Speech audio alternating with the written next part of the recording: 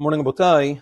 Based on what we've been speaking about the past few days, uh, if we combine the few halachot, first of all, we said yesterday that according to the letter of the law, a person could be yotze, uh, the mitzvah of hadlakat nerot Shabbat, by lighting electric lights, which means that at least according to all poskim, not all, but according to the poskim that we follow, if it's incandescent, you can even make a bracha. If it's LED, according to the Yalkut Yosef, you're still eligible for a bracha. You'd make a shekiddushanu mitzvotav tzivanu le'adlik ner shel Shabbat and turn it on, and you're yotzeh the mitzvah of adlakat nerot Shabbat if you don't have oil or wax or paraffin or anything else to light with an actual fire. And the reason for that is because the ikara takana is there for there for, for there to be light in the house. Also, we said, according to Marana Shulchan Aruch, um, if there's already Nerot Shabbat lit in a certain place, you cannot make a bracha and light more Nerot Shabbat because it's not so recognizable that there's additional Kvot Shabbat with the additional light, and therefore you wouldn't be able to make a bracha.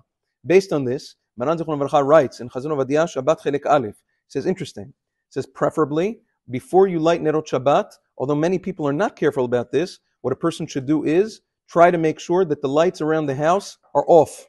First turn off the lights around the house, or at least in the immediate area where you're lighting Nerot Shabbat, and then light the Nerot Shabbat with the fire, light the candles, and the bracha will also go on the lights that you turn on after you light the Nerot Shabbat. Why? Because if not, there's a concern since a person would technically be Yotzei de Chova with electric lights, and the electric lights are already on, and Maran says that you're not allowed to make a bracha on extra Nerot Shabbat, so now if I'm lighting fire, I'm lighting the actual candles for Nerot Shabbat.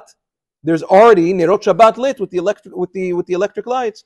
So preferably, a person should try to turn off the lights before. What are you going to say? Oh, one second, but I already made the bracha and I already lit Nerot Shabbat. How am I supposed to turn on lights now? It's Shabbat. Not true. According to Marana Shulchan Aruch, if a lady lit Nerot Shabbat within a half hour of Shki'ah, she can go and do Melacha afterwards. It's no problem. Especially over here, since lighting, turning on the lights afterwards will be included in the bracha that she said on the candles, it's perfectly acceptable. Now, that's the best way to go.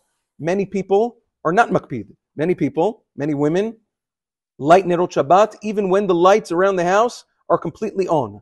Again, it's not the most correct thing, but Maran Zichron writes that it does not create a bracha levatala for several reasons, but it's a good thing at least if she's lighting in the dining room, wherever it is that she lights, at least to turn off the lights in the dining room, in the kitchen, so that it can be not. It's not going to be dark. It's still light outside, but so that when she turns, when she lights the Nerot Shabbat, there's actual light coming from the candles that she lit, and then go turn on the rest of the lights. Have a wonderful day and Shabbat Shalom Vorach. Mincha Kabbalat Shabbat in Arvit is at 4:20 this evening. Have a wonderful day.